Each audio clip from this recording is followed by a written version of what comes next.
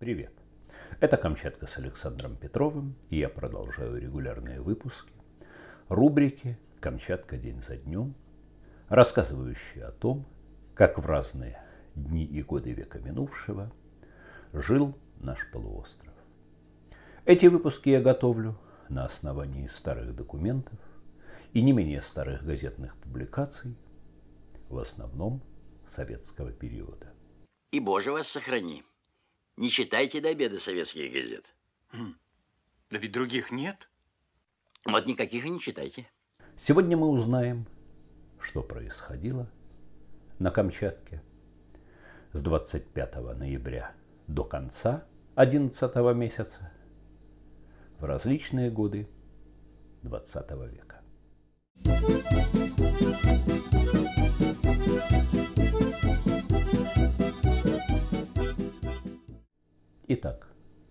начинаем наши увлекательные краеведческие изыскания.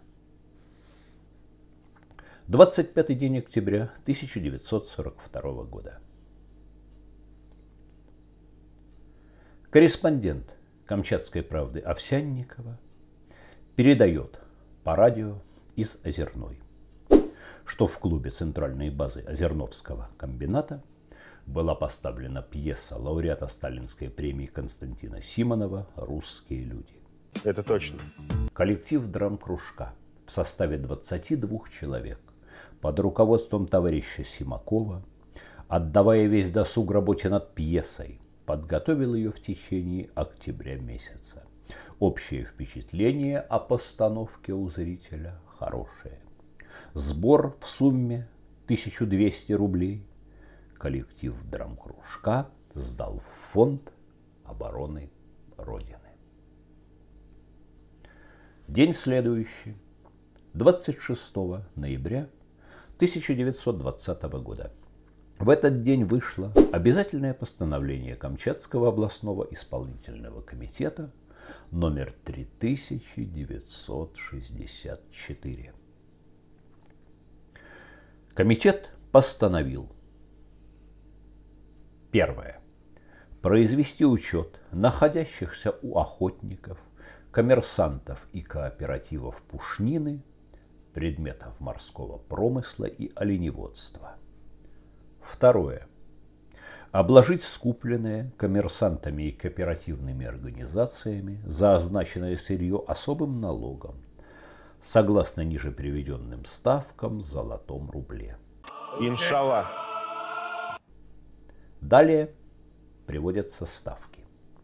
Соболь 10 рублей, Красная лиса 2 рубля 50 копеек, Сивадушка 5 рублей, Бура и медведь 2 рубля, Выдра 5 рублей, Росомаха рубль, Белый писец 2 с полтиной, Горностай 10 копеек, Тарбаган 10 копеек, Белка 5 копеек, Волк 3 рубля, Белый медведь 25 золотых рублей.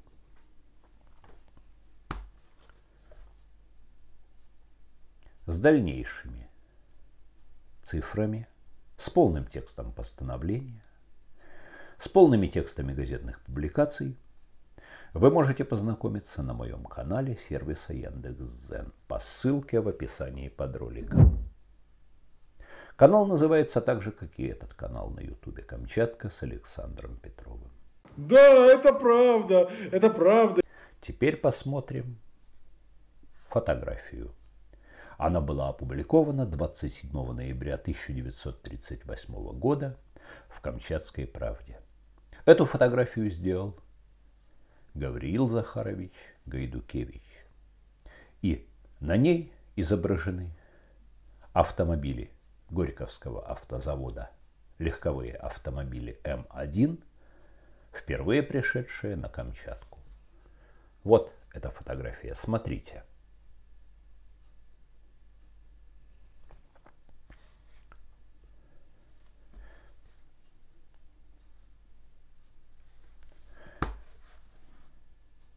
о пополнении учительских кадров в Камчатской области пишет 28 ноября 1939 года газета «Камчатская правда». Комплектование школ Камчатской области учительскими кадрами в 1939 году проведено значительно лучше прежних лет. К 20 ноября в область прибыли 196 учителей начальных школ и 127 предметников. Кроме того, Петропавловское и Тигильское педучилища дали в текущем году 29 человек.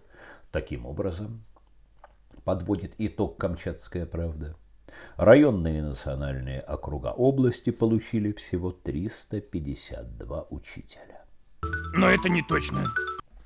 А на следующий день, 29 ноября, но уже в 1940 году, Камчатская правда сообщила об открытии новой воздушной линии. По инициативе депутата Верховного Совета СССР товарища Обухова в Корякском национальном округе главным управлением гражданской авиации создано авиационное звено. Недавно сюда прибыли два самолета и летный состав. 24 ноября произведены первые пробные полеты. Испытания самолетов дали хорошие результаты. Вознаименование десятилетия образования национальных округов с 1 декабря открывается воздушная линия. Я напомню, что 10 декабря 1930 года были созданы Камкарякской и Чукотской национальные округа вошедшие в состав Камчатской области.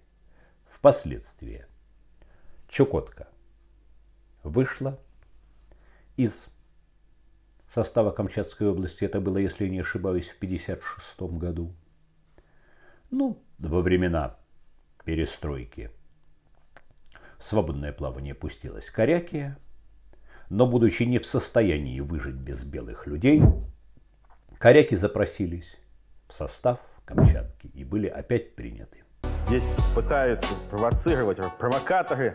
В 2007 году Камчатская область и Корякский округ соединились в один Камчатский край.